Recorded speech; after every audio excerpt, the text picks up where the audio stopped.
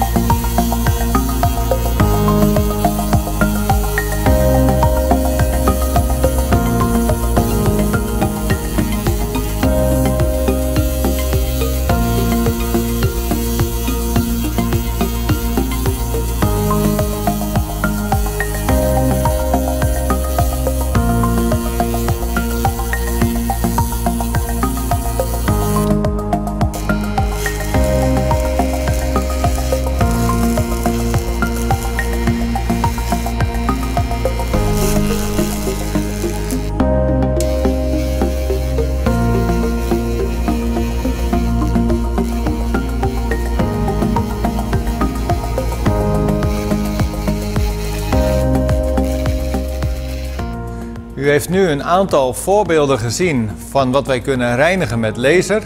Heeft u interesse? Neem dan contact op via het volgende e-mailadres.